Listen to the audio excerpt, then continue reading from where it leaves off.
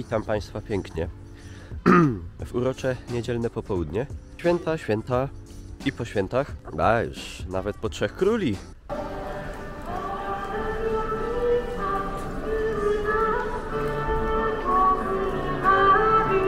A w tym momencie kierujemy się do naszych sąsiadów w Chorzowie.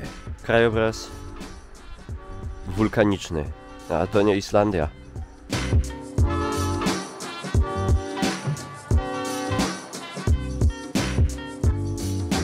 Jak sytuacja na dworcu głównym kolejowym? No, dzisiaj jeszcze z niego chyba nie odjedziemy. Bardzo jestem ciekaw, jak to wyjdzie w finalnym efekcie. Mam nadzieję fajnie, no bo w końcu dworzec to jedna z takich wizytówek każdego miasta.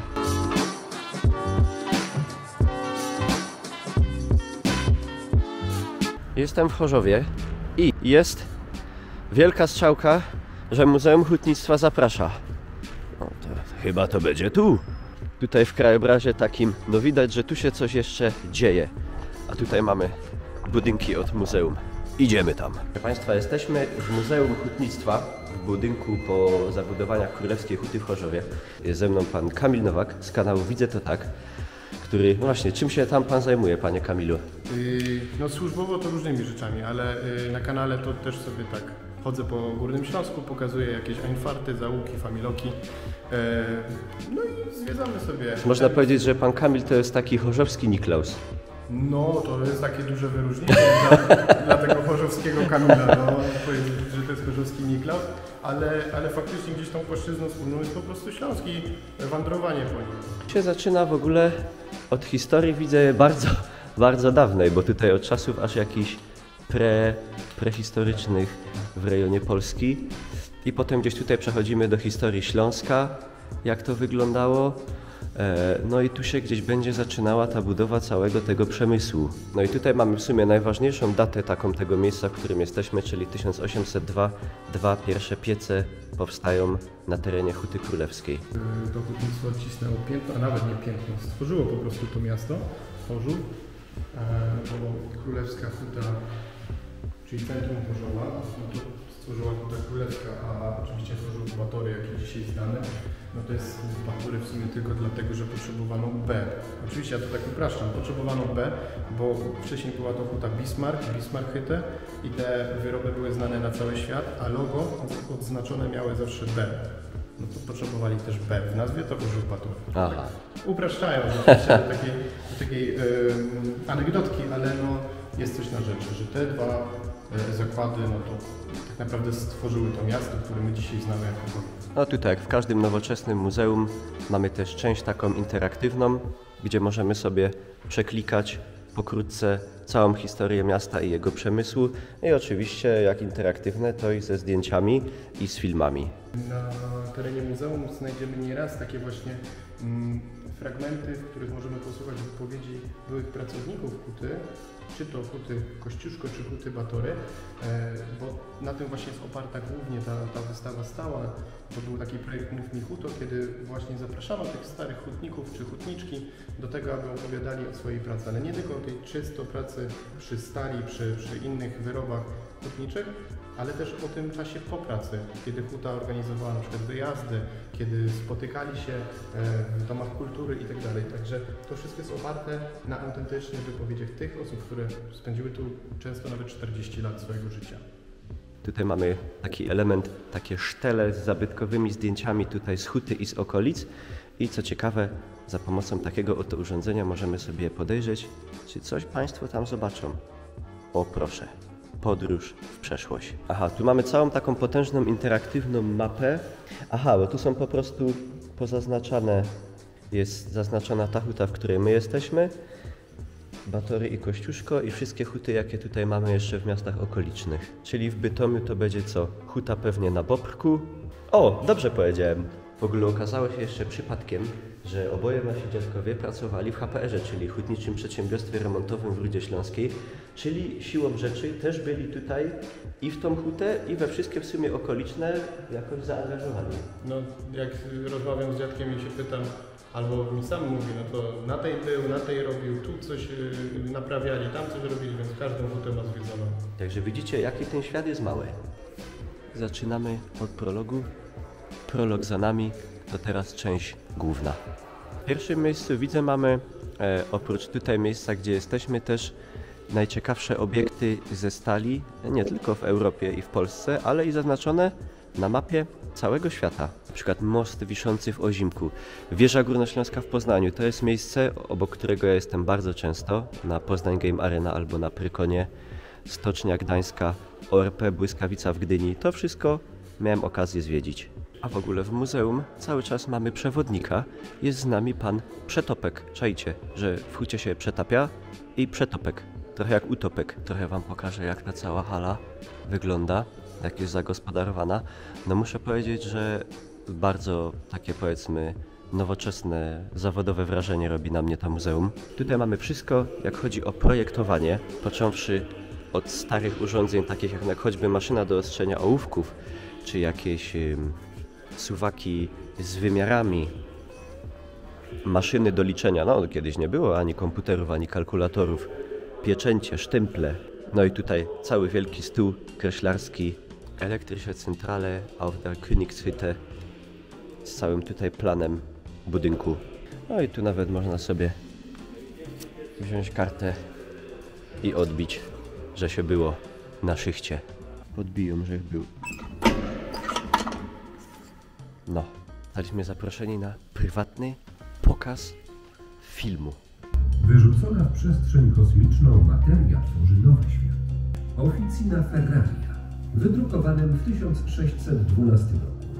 W XVII i XVIII wieku przemysł hutniczy w Europie dynamicznie się zmienia. Tutaj w tym miejscu mamy w bardzo fajny, taki graficzny, wręcz łopatologiczny sposób pokazane, jak w zasadzie w ogóle w hucie powstaje stal. No i tutaj to nawet połączone z taką mini grą, gdzie musimy wszystkie procesy posegregować, ale już lepiej nie będę się za to brał. Nigdy nie byłem dobry w zagadki logiczne. A tutaj mamy część, gdzie już mamy tę autentyczną maszynerię wyciągniętą z huty. Wszystko dokładnie opisane i okraszone oczywiście fajnymi historycznymi zdjęciami. Zawsze mnie to ujmuje, jak kiedyś za odzież ochronną robiły czapki i kaszkiety. Co ciekawe, w królewskiej hucie odlana nawet była brama z pałacu w Świerklańcu. Brama się zachowała, pałacu no niestety nie ma. Nie, nie przetrwał ruskich najeźdźców. Zwracam uwagę, jak były pięknie robione te wszystkie stare, wiesz, te, te, te no powiedzmy billboardy na dzisiejsze loga, nie? Z takim zawsze smakiem Niebieskimi rurami dostarczona jest para, żeby uruchamiać te młoty i pokazywać jak one działały. Mm. I są tam specjalnie takie te gumowe, znaczy gumowe, tak to wygląda jak takie gumowe podstawki, żeby czasem nie wyrąbało tu szyb w oknach. No tak, to przy uderzeniu. No. Sprawdź jak działa prasa. No, Kamil, sprawdź jak działa prasa. To jest gąbka. To jest gąbka, to są takie... O!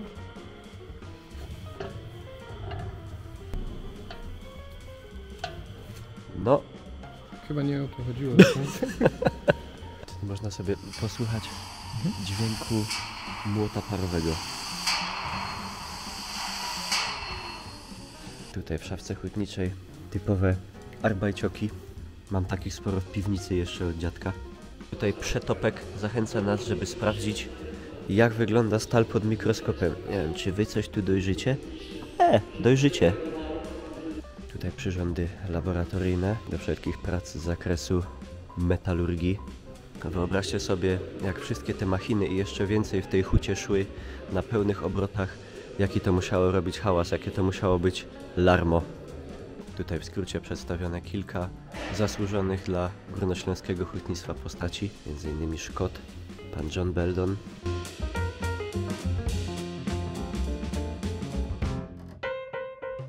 Jak działa walcarka?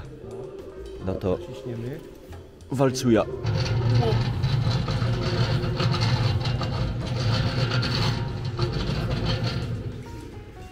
No, fajnie, że przewalcował. No, jak robota na hucie, to niestety i wypadki, i pożary. I tutaj mamy takie piękne stare zdjęcie chorzowskich Feuermanów, a tutaj nawet hełm paradny Jerzego Hasy, lata 20-30. Piękna rzecz. Tutaj coś dla mnie, czyli technika BHP, zasady bezpieczeństwa pracy.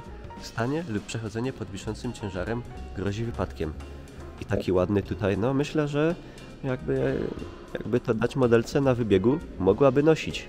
Jest niesamowita możliwość nawet pomacania sobie autentycznej rudy żelaza, ale to ciężkie. I marasi, ale przypał. Do azot i nazot. Jerzech Hutnik.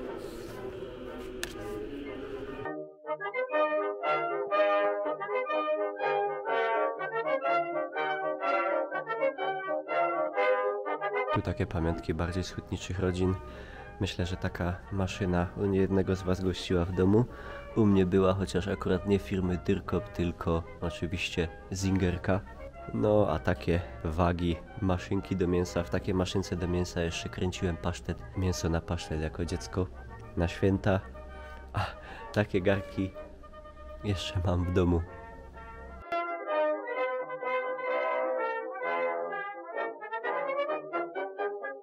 Tutaj bardzo mi się podoba taka dbałość o detale, że w odtworzonej takiej ala ścianie takiego familoka mamy nawet okna, drzwi pomalowane na zielono, tak jak to w oryginale było przeważnie na zielono albo na czerwono. I idziemy na ostatni element, wystawę fotograficzną. I tutaj coś z mojego ich ulubionych rzeczy, czyli historyczne fotografie, Wielka Księga Przemysłu, czyli pierwsze fotografie Huty Królewskiej.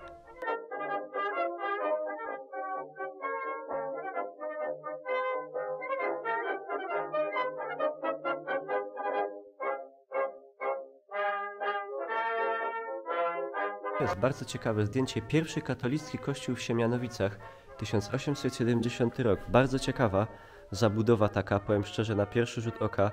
Jakby ktoś zobaczył nieznający naszych klimatów, to powiedziałby, nie wiem, Norwegia, może gdzieś Szwecja, a to Siemianowice Śląskie.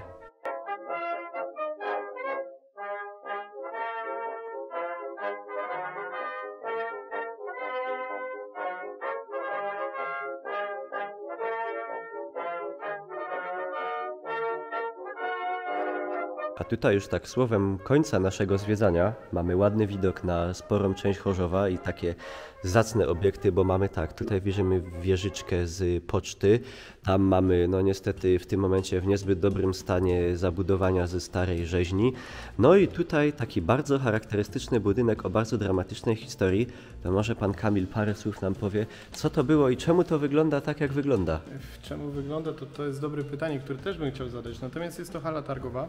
E, Jak chodzicie sobie po koszykach e, w Warszawie, albo w Budapeszcie, albo w Hiszpanii są takie fajne Mercado i tak dalej, to to jest właśnie takie coś.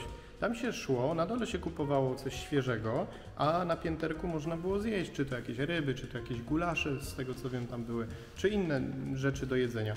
Ale to było takie targowisko, które żyło bardzo, bardzo prężnie. Początek XX wieku y, otworzyła się ta hala i to w ogóle stanowiło fajne połączenie z tą rzeźnią z tyłu, no bo też to mięso można było sprzedawać i tak dalej. Tam jest bocznica kolejowa, więc w ogóle te towary mogły być z różnych części, części y, no, wtedy kraju, czyli Niemiec. E, Ale w czasach PRL-u ktoś stwierdził, że trzeba zburzyć tą, czy bu- zburzyć, przebudować tą taką piękną, chyba neogotycką mm, zabudowę, tą fasadę, no i zrobić taki, takiego kanciaka. No i tak to zostało. Późniejsze lata to jest y, palarnia kawy i paczkarnia herbaty Posti, później Figloland, Biedronka, klub muzyczny Merkury, aż w końcu zostało to wszystko opuszczone i tak można powiedzieć straszy w ostatnim czasie. Co inwestor to jest jakiś plan, pomysł, no ale tu naprawdę trzeba sporo pieniędzy. Ostatnia ta hala, jak ostatni raz była wystawiona na jakimś portalu, to kosztowała 3,5 miliona złotych, a pewnie drugie tyle, jak nie jeszcze więcej trzeba by było w nią włożyć, żeby tam coś sensownego zrobić. Proszę jakoś zachęcić do odwiedzenia Muzeum Hutnictwa w Chorzowie. Kochani, no y, jak sobie możecie wyobrazić, że jeden zakład, jedna firma stworzyła całe miasto, no to chyba to jest najlepsza zachęta, e, żeby pokazać jaka to jest potęga. Pomyślcie sobie, że zwykły robotnik, którego trafiliście tam te kilkadziesiąt, set lat temu na ulicy, on miał taką wiedzę, prawie że alchemiczną, jak z tej bryłki czegoś takiego sreb- posrebrującego, posrebrzanego, błyskającego tak srebrzyście, zrobić y, coś, co może być szyną, co może być konstrukcją, co może być naprawdę potężnym narzędziem albo maszyną, no też do zabijania ludzi niestety czasami. Pomyślcie sobie, jak potężny był to przemysł, yy, no i co nam zostało z tego, no pooglądać to po prostu, jak to kiedyś bywało, jak ludzie do tego doszli. A to wszystko, tego się wszystkiego dowiecie właśnie tutaj w muzeum.